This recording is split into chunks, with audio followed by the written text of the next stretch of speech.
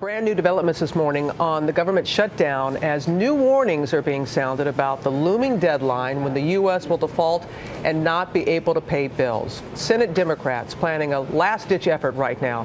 ABC's Jonathan Karl is live there for us at the White House. Good morning, John. Good morning, Robin. As the shutdown enters its second week with no end in sight, Senate Democrats are moving forward with their plan to prevent a national default. That sets up a showdown with even higher stakes for our economy. This morning, the Social Security Administration is warning that in just nine days, it will no longer be able to guarantee checks will go out to millions of seniors unless Congress acts to raise the amount of money the government can borrow.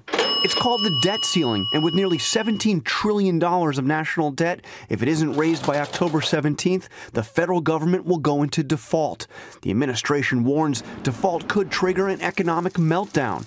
President Obama is adamant that Congress must raise the debt ceiling without any conditions or negotiations. We're not going to negotiate under the threat of economic catastrophe that economists and CEOs increasingly warn would result if Congress chose to default on America's obligations. But Speaker of the House John Boehner says there must be negotiations. The Republicans will only agree to raise the debt ceiling if the president agrees to spending cuts. Asked about the impasse, Press Secretary Jay Carney attempted a joke. If the Speaker of the House sticks to that position, are we going into default? If you're saying if the Speaker attaches to the debt ceiling increase uh, a recognition of the importance of motherhood, we might, you know, accept that. I'm, I'm, trying to be funny, but nobody laughs, so I apologize.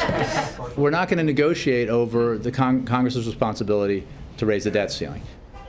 The public, of course, is increasingly disgusted by what they're seeing going on or not going on in Washington. And the latest ABC News Washington Post poll showed majorities disapproving of the president and both parties in Congress.